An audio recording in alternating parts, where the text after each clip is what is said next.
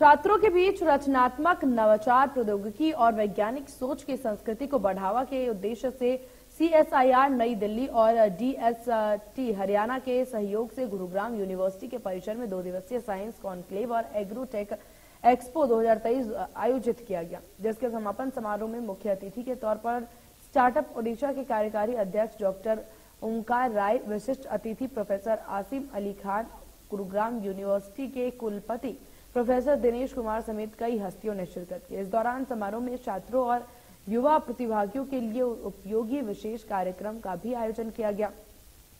वहीं आपको बता दें, जिसमें आत्मनिर्भर भारत विषय पर विज्ञान मॉडल के प्रदर्शनी, साइंस कार्टून शो और मंडल की सैर शो, कठपुतली प्रदर्शन और आलू की कहानी शो शामिल था। इस संपूर्ण आयोजन में छात्रों के साथ ही देश के अलग अलग राज्यों से भी लोगों ने साइंस कॉन्क्लेव और एग्रोटेक एक्सपो में हिस्सा लिया। मुख्य अतिथि स्टार्टअप ओडिशा के कार्यकारी अध्यक्ष डॉक्टर ओंकार राय अपनी संबोधन में भारतीय संस्कृति एवं ग्रामीण भारत की वैभवशाली इतिहास पर बात करते हुए नज़र आए।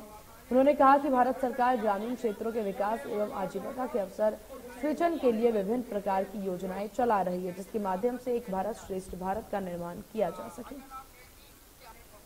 मोदी सरकार हो या मनोहर सरकार सभी सरकारों का मकसद ये होता है कि किसानों की, खासकर जो हमारे अन्नदाता हैं, उनकी इनकम कैसे बढ़े। और एक बड़ी पहल गुरुग्राम यूनिवर्सिटी में, यहाँ के वाइस चांसलर हैं दिनेश अग्रवाल जी, उन्होंने एक बड़ी पहल की है।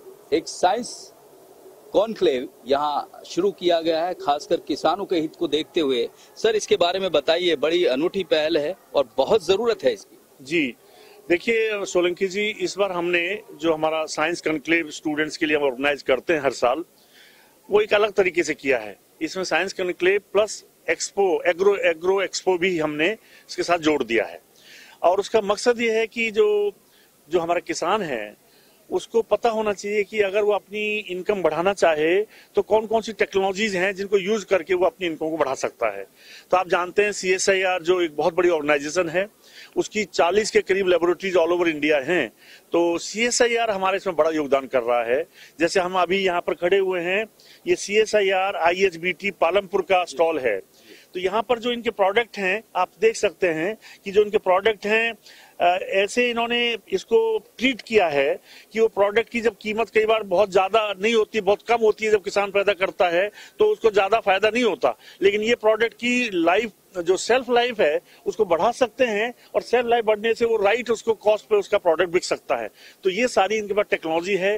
तो किसानों को हमने इस टेक्नोलॉजी के माध्यम से इनको बताना चाहा है, इन प्रदर्शनी के माध्यम से कि आप अपनी जो प्रोडक्ट है, वो ज़्यादा से ज़्यादा कॉस्ट के ऊपर बेचें। ऐसे ही है कि आप साथ में लेबोरेटरी देख सकते हैं यहाँ पर। ये हमारी सीएसआईआर की दूसरी लेबोरेटरी है एमप्री भोपाल से आए हैं ये। तो देखिए यहाँ पर बहुत सारे इनके प्रोडक्ट हैं जो वेस्ट मटेरियल निकलता है किसानों का। जैसे हमारे किसान जलाते हैं वो आपको पता पॉल्यूशन इतना बढ़ जाता है पलाई। पराई जो पराली जो जलती है उस पराली को यूज़ कर सकते हैं प्रोडक्ट बनाने के लिए। ये कई बार ऐसे ऐसी चीज़ें हैं जिनसे वो बहुत बड़ा फाइबर देखो ये कितना बड़ा फाइबर निकल रहा है इसका। इसकी बड़ी स्ट्रेंथ भी है और ये इको फ्रेंडली है। मेन बात है आपका पॉल्यूशन आपका एनवायरमेंट भी सेफ़ रहेगा और किसान के जो मटेरियल है उसकी, उसको कॉस्ट भी सही मिलेगी।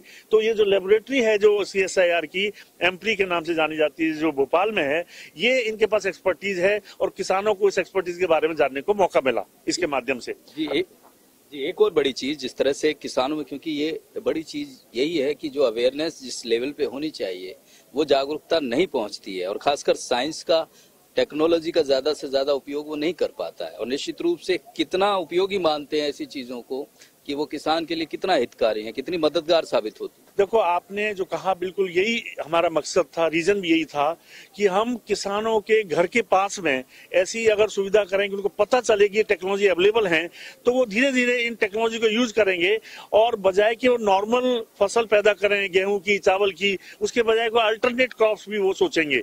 तो मकसद उसका यही था, प्रदर्शनी का, जो आजकल जो लगाया है हमने, जो एग्रो फेस्ट लगाया है एग्रो एक्सपो लगाया है, उसका मकसद यही है कि किसानों को इस चीज़ के बारे में पता चले। और जैसे पता चलेगा आई एम श्योर कि वो किसान बहुत तेज़ी से उसको आगे अपनाने के लिए तैयार भी हैं। कल मैंने देखा, बहुत सारे लोगों से बात भी की और वो काफ़ी ज़्यादा एक्साइटेड थे। उनको बहुत अच्छा लगा कि पहली बार किसी ने हमें इस तरह से उसमें बुलाया है और समझाया है। तो उनका एक थॉट प्रोसेस बिल्कुल बदलने की डायरेक्शन में ये ये प्रदर्शनी जो लगी है, वो काम करने वाली है। निश्चित रूप से यही उम्मीद करते हैं कि एक बड़ी चीज़ बनेगी, क्योंकि एक नजीर जिस तरह से गुरुग्राम यूनिवर्सिटी ने पेश की है, खासकर टेक्नोलॉजी से, साइंस से किसानों को जोड़ना, उनको जानकारी देना, ये एक मील का पत्थर साबित होगी। सुंदर सोलंकी, इंडिया न्यूज़, गुरुग्राम। इन्हीं खबरों के साथ इस बुलेटिन में बस इतना ही। बने रहिए इंडिया न्यूज़, हरियाणा के साथ। नमस्कार।